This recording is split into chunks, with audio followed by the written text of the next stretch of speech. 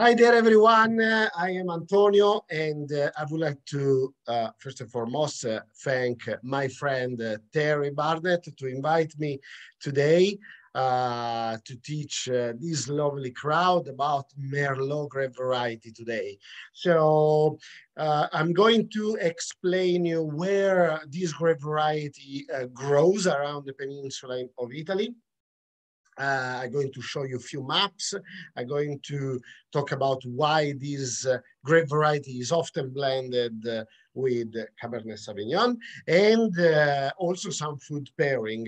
Uh, it's going to last 10 to 20 minutes, uh, this lesson. So let's get started if you're ready. So let me share the screen with you today.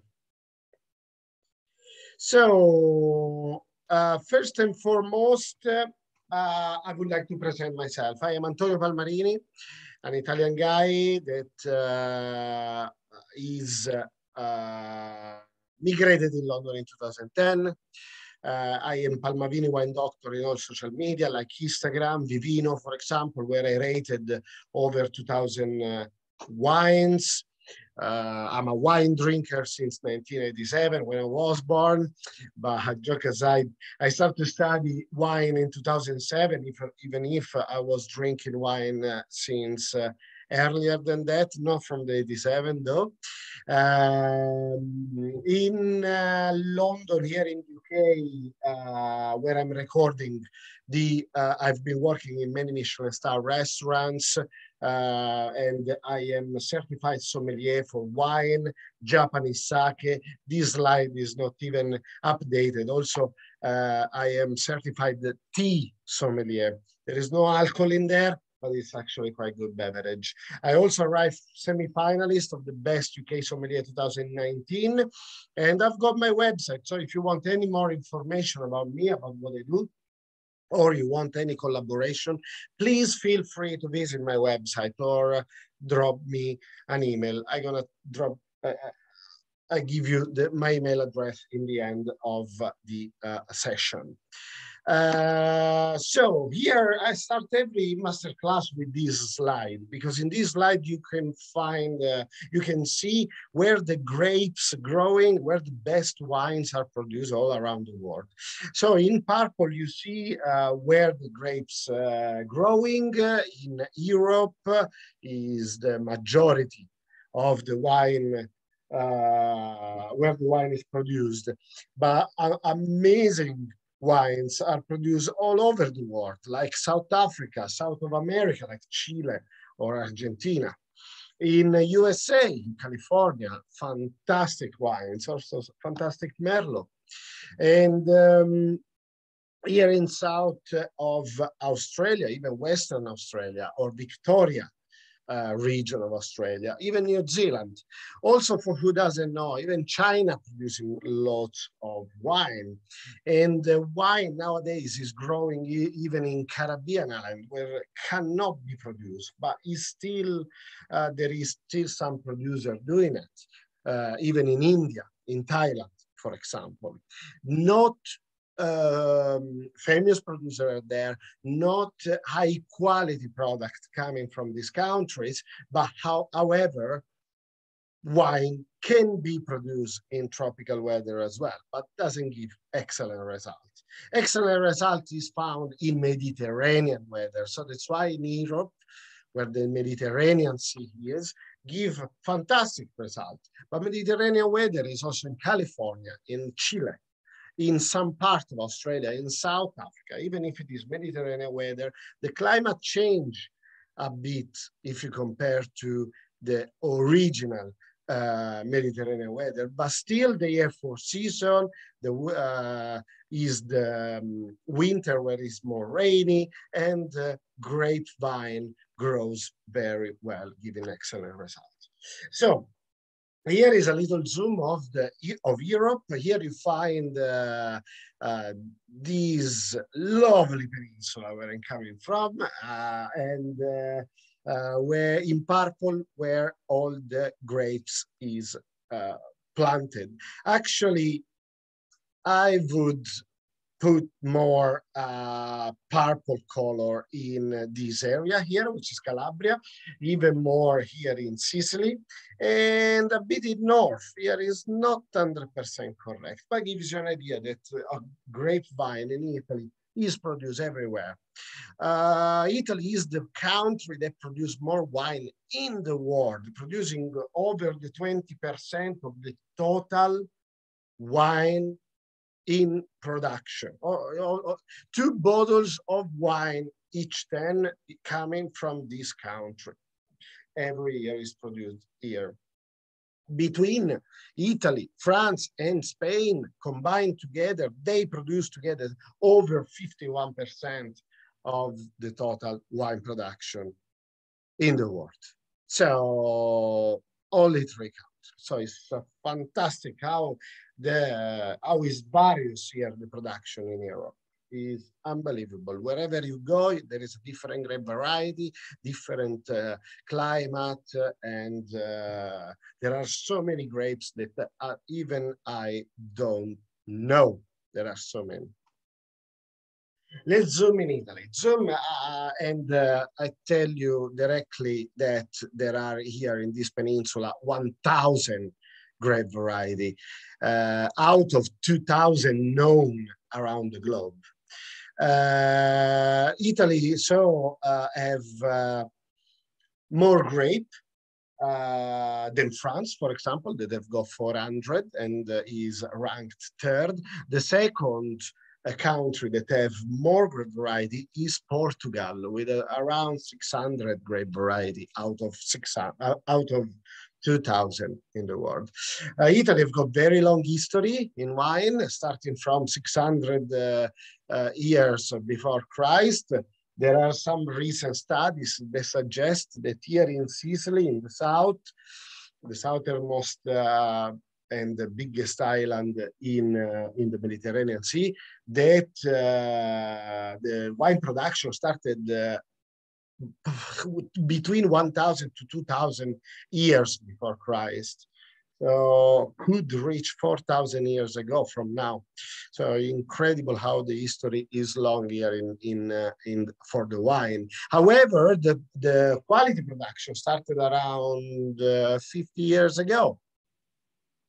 So we are producing excellent wine right now, but we can make better. Uh, for sure, the variety is incredible. So if you want to have fun with wine, come to Italy or drink Italian wine. So Merlot, we're talking about Merlot today. Merlot uh, growing uh, a bit of everywhere in Italy. Uh, because Merlot along Cabernet Sauvignon, which I'm going to do a, a different uh, class for that, for you, Terry. Uh, here, the Merlot, being an international grape coming from France, from Bordeaux, where it is originated, along Cabernet Sauvignon as well, um, it's been spread all around the world from Bordeaux and used to be thought to be uh, along Cabernet Sauvignon, the best two red grape varieties that combined together used to give the best wine in the world. So uh, people start to request this grape variety in South Africa, in California, in Chile, in Argentina, in Australia. So um, become such a popular that also the studies of this grape variety uh, become uh, profitable and there was a lot of uh, improvement for these grapevines. So also in method of production, not only in planting and in the vineyard, but also in the winemaking. So that's why today these two grape variety gives uh, amongst the uh, most um, uh, expensive wine in the world, even in California, in, uh, in Napa Valley, for example. However, in Italy uh, is mostly planted in Veneto and Friuli Venezia Giulia. There are few producers only here. They produce excellent Merlot. Only few, but the massive production here of Merlot is average quality. Mm, pardon me. Uh, average quality. So I would focus to another region, even if produced much less, which is Tuscany. But except Tuscany, we'll come back to Tuscany, Merlot is, uh, is widely planted in Lazio, for example, along the Shiraz, that is another French grape variety, or in uh, Sicily, for example, but a bit all around the world and is usually blended with local varieties or indigenous varieties. Is, uh, is blended because of uh, uh, Merlot is well known, the flavor is, uh, uh, is requested.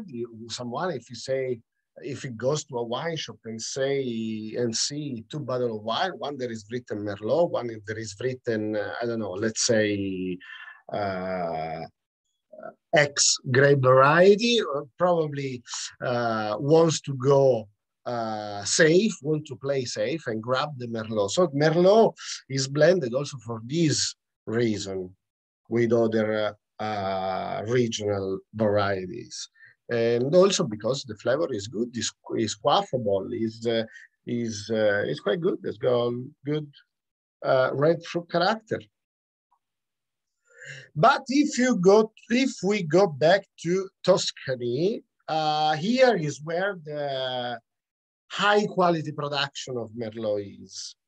So let's go to Tuscany, which is in central Italy. This is Veneto, sorry, before going to Tuscany, this is Veneto. Veneto is a bit more flatter land than Tuscany. Tuscany is more hilly. Uh, Veneto has got more uh, richer clay, fertile soil, where uh, Merlot gives a higher quantity uh, uh, grape, you know, uh, is more um, produce more grapes and uh, but the quality is uh, questionable. Yeah, of course, there is some vineyard and some producer, as I said, that makes stunning Merlot. But here in Tuscany, the thing uh, is more challenging, let's say. And uh, here there is also a tradition of making quality wines. So uh, wherever grapes they do, they do it well. But of course, there are few grapes that gives best result than others. Amongst the best, there is the Sangiovese, that is the uh, Deiro grape variety, let's say, even if grows around the Italy, all around Italy. But Merlot, along Cabernet Sauvignon, here gives uh, amongst the, the most expensive wine of Italy. And here the soil is more gravelly, sometimes more sandy, uh, however, Merlot likes more the clay, rich clay. However, uh, in a hilly side makes uh, a bit better uh, products. So where exactly in Tuscany you can find the Merlot? Uh, usually in the coastline, because Merlot, uh, if you um, if you go more to the center of the of Tuscany, is warmer. Uh, again, is a generalization because if you go high in altitude in the top of the hillside, of course the temperature goes down. But uh, in the uh, coastline, you have more um, maritime climates that refresh and, and balance the hot summer days. So Merlot grows a bit better here. So where exactly? Number 22 here in uh, Bolgheri, for example. Bolgheri is the is the land for Cabernet and Merlot together, but, but also some producer produce Merlot 100%, uh, but also a bit uh, in the coast, like in, in, the Maremma, for example, number 27 in the Maremma Toscana, for example, which is all these huge land in the coastline in the south west of Tuscany. So here is a zoom of Bolgheri. I placed here some uh, best wines from Bolgheri. All of them, uh, they have Merlot, but all of them is blended. Because here, Uh, traditionally, Merlot is always blended with Cabernet Sauvignon and other grapes. Uh, I will explain why in a second.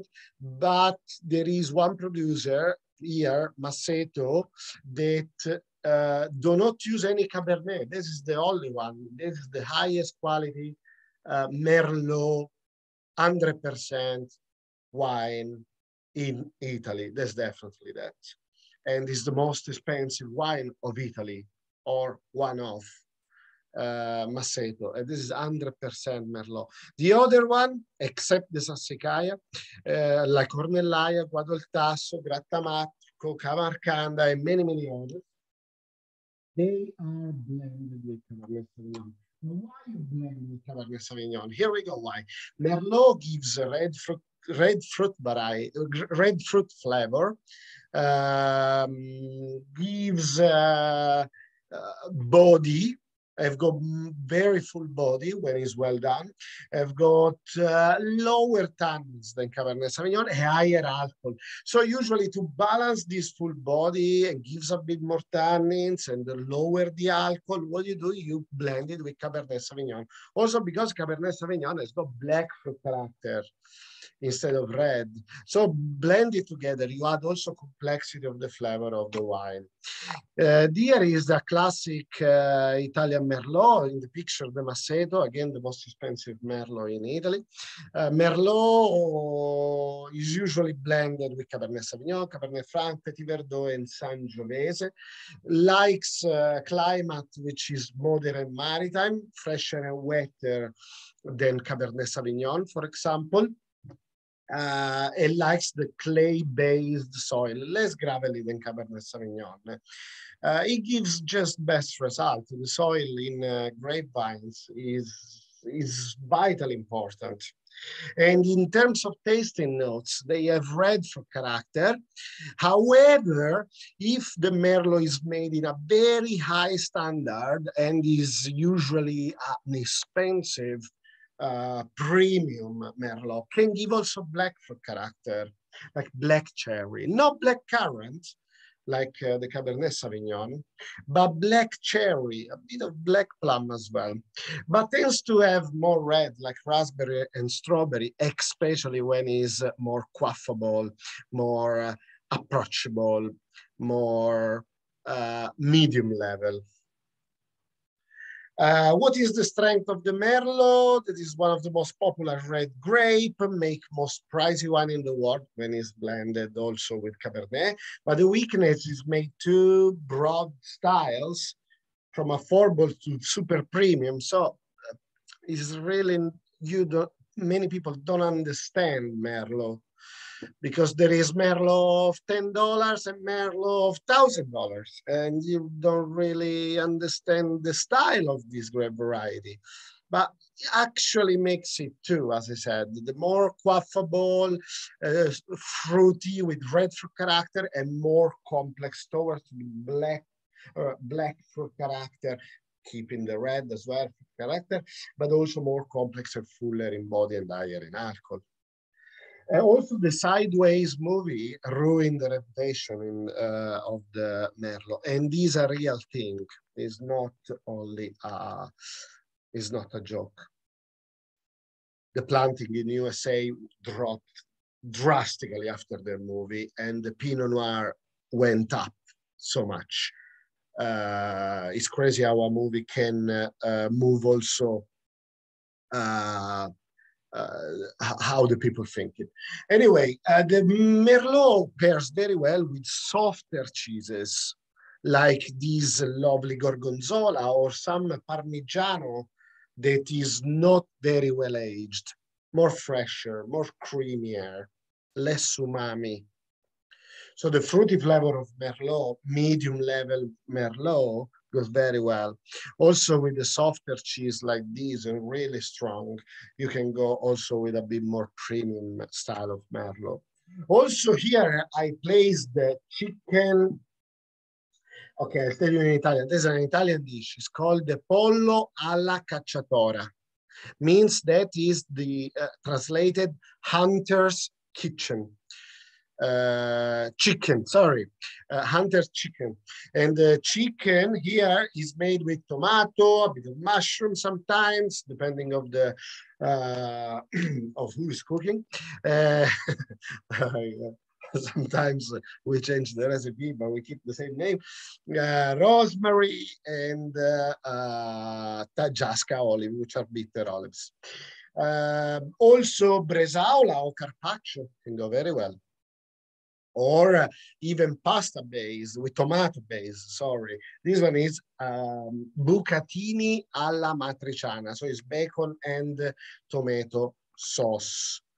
Uh, so yeah, with that I finish and uh, thank you very much for uh, listening. Uh, for any inquiry, here is my email address, palmavideo and doctor at gmail.com. Uh, so for any uh, collaboration, please feel free to contact me and follow me on Instagram. Don't forget about that. For any uh, further information, please visit my website at www.antoniopalmarini.com. Thank you very much, Terry, and I hope uh, you all enjoyed this masterclass and thank you very much.